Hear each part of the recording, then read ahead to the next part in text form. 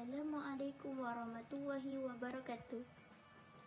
Nama saya Doni Syakira binti Muhammad Azhar dari SMK Seri Muda. Saya ingin mengulas sebuah buku novel bertajuk Dios Hasil Karya Angel. Buku ini mempunyai 653 bilangan muka surat.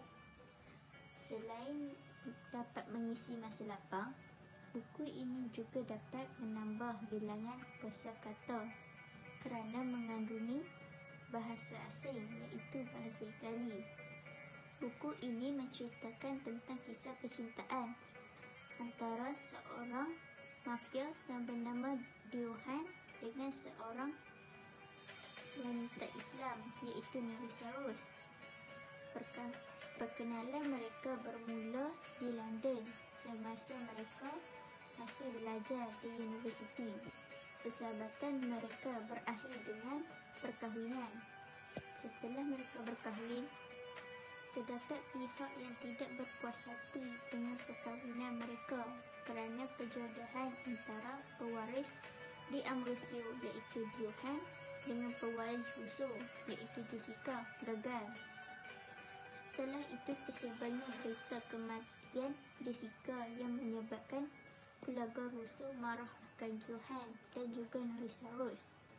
Hal ini menyebabkan Johan dan juga Norisa Rose diancam sehingga mereka mengalami kemalangan yang menyebabkan Norisa Rose koma selama setahun.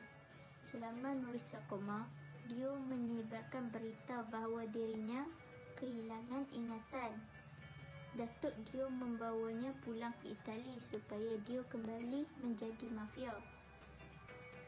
Pertemuan semula antara Rose Rose dengan Johan disebabkan oleh harta wasiat ayah Marisa yang diserahkan kepada Johan.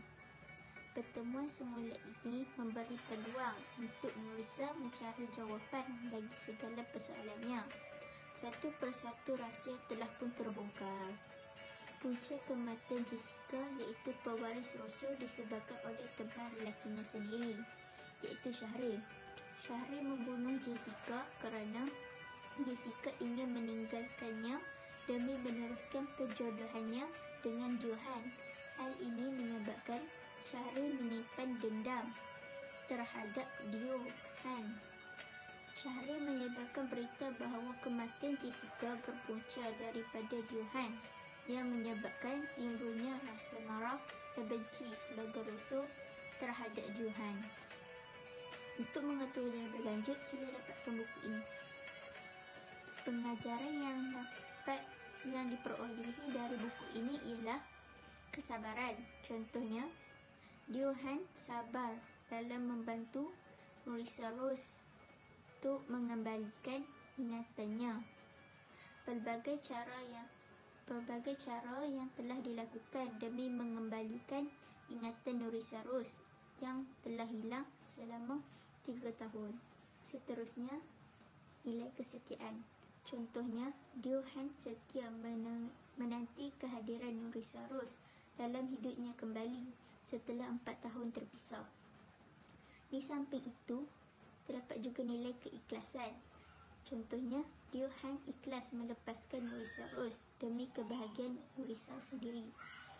Slogan kata, Sejauh manakah Duri sanggup berkorban demi mawanya? Sekian terima kasih.